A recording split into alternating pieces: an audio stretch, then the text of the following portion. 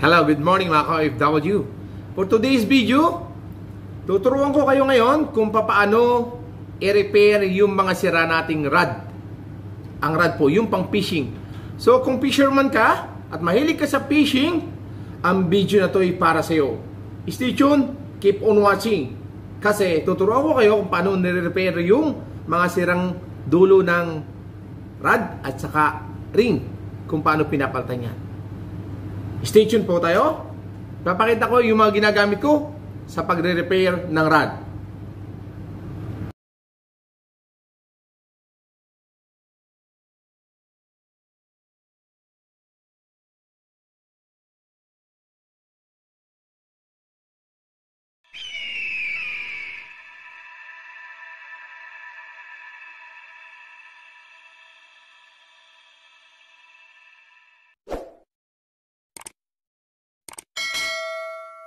So ayun mga ka-FW, umpisa na po tayo, wag na tayo magpaligoy-ligoy pa para matuto kayo kung paano nyo re-repairin yung inyong mga sirang rod, okay? Ito po yan. May, minsan po pag nagpipishing ako, uh, mayroon akong nakakasabay na fisherman na puputol yung mga rod. So, putol na, ginagawa nila tinatapon sa dagat. Ang ginagawa ko naman po, pag naputol, pag itatapon sa dagat, itong mga ganito na puputol na rod nila, hinihingi ko po yan kasi mapapakinabangan po natin mga ka-OFW. Tips po yan. Pag may magtatapo ng sirang rod na putol, hingin nyo. Kasi ito'y magagamit natin sa pag-repair. Especially itong dulo at saka itong mga ring. Oh, ito po ay napakaganda. Ito po ay uh, Shimano yung brand niya. Ang gaganda pa po ng ring niya. O nakita nyo yung ring niya, napakaganda pa. O, ito po yung ring niya. Yan po ay gagamitin ko sa pag-repair ng rod ko. Itong dulo, itong kukunin ko, itong dulo na to, kasi naputol to, hiningi ko sa kanya. Gusto na putol ng uh, rod. Itong dulong ito, itong nasira kong rod, ito, di ba? Nakita niyo po ito.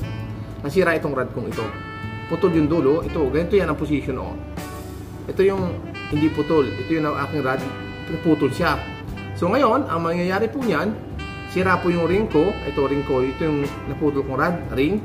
Ito po yung na hiningi ko na, putol na rod na, na damage nung fisherman. So hiningi ko siya para magamit kong pang repair.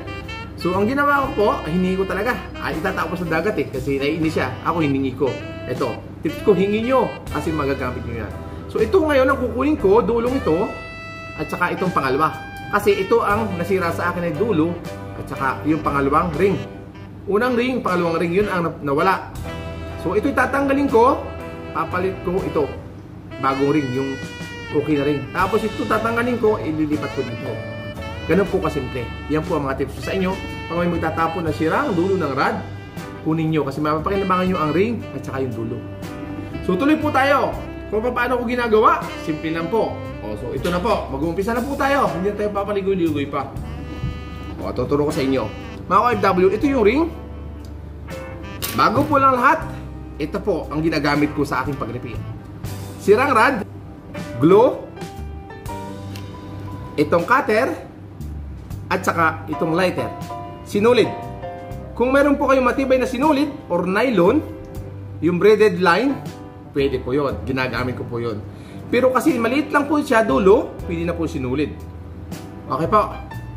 So ito, gagawin na natin. Umpisa natin, ito ay gagawin natin. Ingat lang po kayo sa cutter, matalim po ito.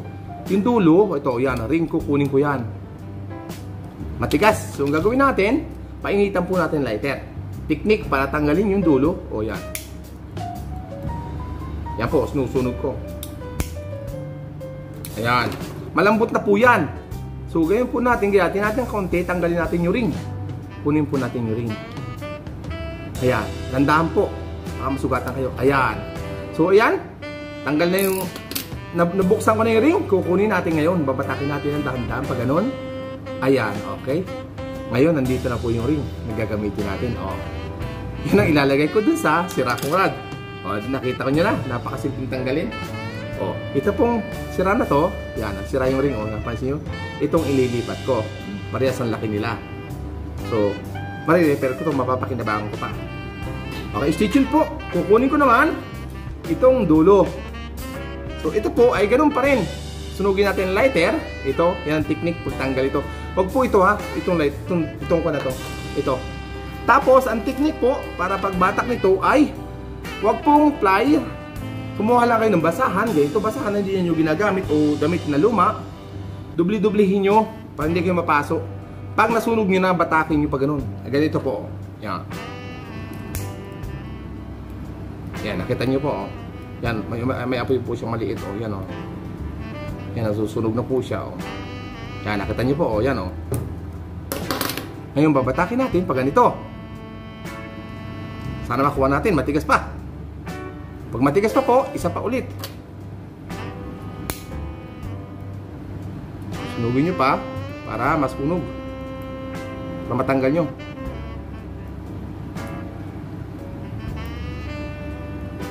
Para lumuwag po yan para makuha nyo yung ring. Ayan, okay. Sana makuha natin. Ayun! Perfect! Ay mga ka-FW, oh. Nakuha ko na po. Ayan. Kaya nga lang sabi ko nga po sa inyo, mainit po. Ingat po kayo. Huwag nyo gagamitan ng plier. Pag naginamitan nyo magagasgasan po, magagasgasan din po yung inyong nylon or uh, magagasgasan yung inyong braided line. So ito po nakuha ko na sa dulo. O, nakita nyo. Paano kuha? Lighter lang po, tapos batakin nyo. Ganun po kasimple yan. So, ito na po. Yan, di ba? Ngayon, ito namang isa, ganun din gagawin natin pagtanggal. O, ganun po. Pasukin natin ng kaunti. Para lumambot po. Pampalambot lang po yan. Pampalambot lang po ito. Pag malambot na po, at saka natin kukunin. Ganun po kasimple.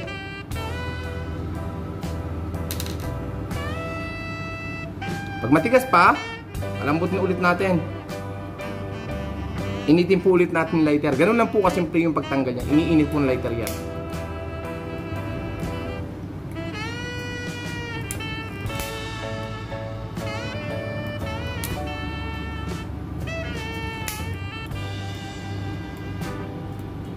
Huwag lang po natin pakatuduhin ha.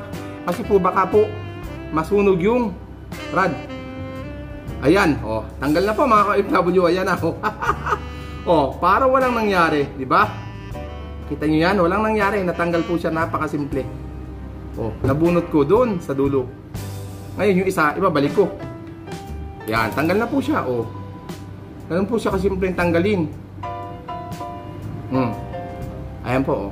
Ngayon, natanggal ko na. Ito po, narin na to. Oh, natanggal ko na. Ito po ay para dito. Temporary lalagyan natin, ha.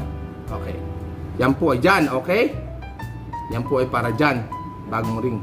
Ito po yung ring na nasira. Yan po yung ring na nasira, oh. Ito po yung ipapalit natin bago dito. Oh.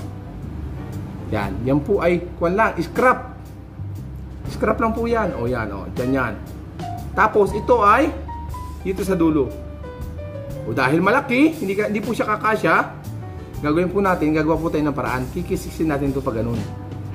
So, para magawa natin ng paraan. Kikiskisin natin pag ganun yan. Itong dulo. Okay, stay tuned po. Ayan mga KFW, umpisa natin, kikiskisin yung dulo. Ito yung pinatanggalan ko nitong ring. Ayan po.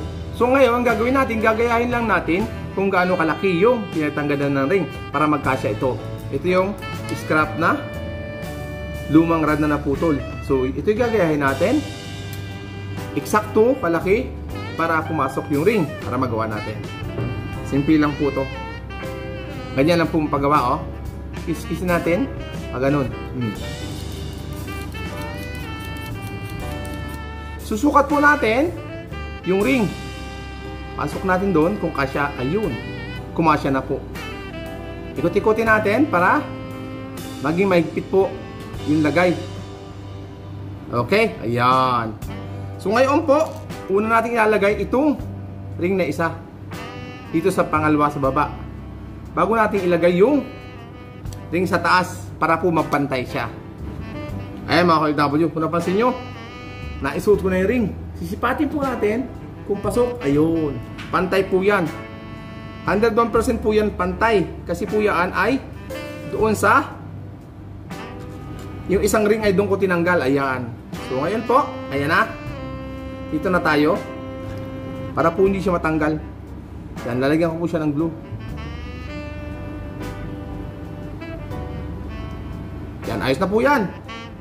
Antay natin matuyo.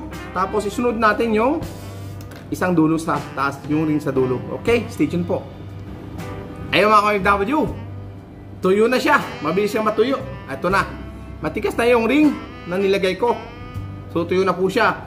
Ang gagawin natin ngayon, lalagyan natin ng glue itong dulo. Tapos sasalpak natin itong ano na to, itong bagong ring. So ngayon, make it short tips lang po. Bago nyo ito ilagay, siguraduhin nyo na bago nyo lagyan ng super glue at pagkasalpak nyo ganun ay pantay. Siguraduhin nyo pong pantay pa ganun. Oh. Yung butas ay shoot. Nakita nyo po yan. Oh. Shoot yung butas. Pantay po dun sa mga ring pa ganun. Yan po ang tips sa kailangan pantay sa mga ring papunta sa dulo. Ganun lang po kasimple yan. O, ganyan. Dapat pantay. O, damo pantay. So, ngayon po, lalagyan ko po na, ng glue yan. Kasi nga po, pantay na. So, ito po, lalagyan natin ng glue. Tapos, sasalpak natin yung ring. Okay, panoorin po ninyo. Ganun lang po kasimple. O, yan. Tanggalin natin. Open natin muna. Ikot-ikotin natin para medyo maayos yung lagay. Yan. Lagyan po natin ng super glue yung dulo. Yan lang, kasimple lang po yan. Ngayon po, siguraduhin nyo napantay ito. Pag hindi magkakaproblema kayo dyan. Mabilis pong tumigas yan. Pantayin natin. Pantay po. Ngayon, itutusok natin ng mabilis.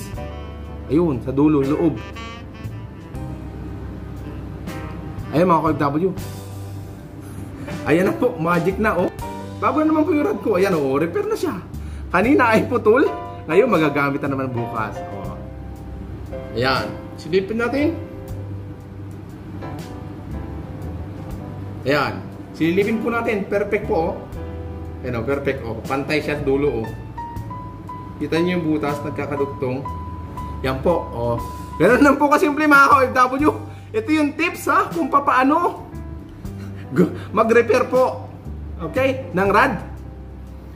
Tandaan niyo po yan. Yung scrap, kunin po natin yan. Magagamit po natin sa pang-repair ng rad yan. Scrap lang po ang kinuha ko. O yan, scrap yan. Ngayon, magagamit natin ulit bukas ito. Matibay pa po ito.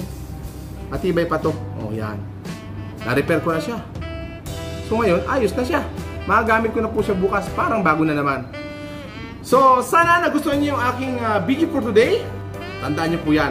Ito po sana na natuto kayo kung paano mag-repair na, na ma-repair ng inyong mga rad. Sana natutunan niyo po. Okay po. If you like my video, uh, please don't forget to subscribe, like and share, and hit the notification bell para update ka sa lahat ng video ko sa Abu Dhabi. Thank you for watching and God bless you all. See you on my next vlog.